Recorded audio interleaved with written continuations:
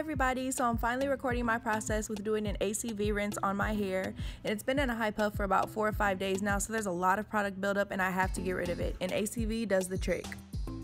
I usually split my hair into four sections when doing this and I just grab my um, little mixture that I made earlier and then I just spray it all over my hair mostly focusing on my scalp because the scalp is where the most buildup is at. What's so crazy about apple cider vinegar is that yes it's a natural cleanser and it clears up your product buildup, dandruff, all that. It's also a detangler like I'm able to finger detangle my hair when I use this stuff.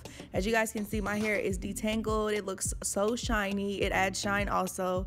It's just like a number of benefits fits with apple cider vinegar. So I'm just gonna start incorporating this into my everyday hair routine. I'm personally not a big fan of shampoo, so I think this is really gonna just take the place of shampoo within my routine. And then I'm also gonna start using um, conditioner like co-washing every week and then just using an ACV rinse every two weeks. So I think that's what I'm gonna start doing now because this apple cider vinegar gets my curls together like clumps my curls, detangles my curls, cleanses my curls. Like I don't know what else you could ask for.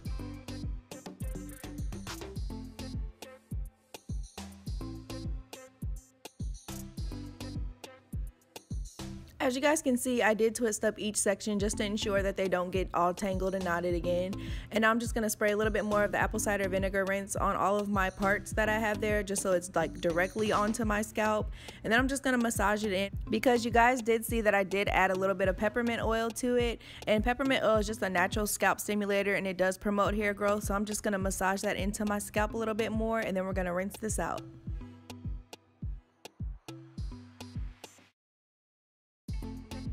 So for the sake of this video, I did not use a conditioner after rinsing it out. Like I just wanted to show you guys what my hair looks like as soon as I rinse out the apple cider vinegar. Like this is it. Like my curls look so, so healthy.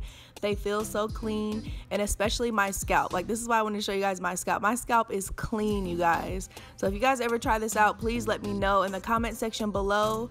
And don't forget to like and subscribe to our channel. Thanks guys.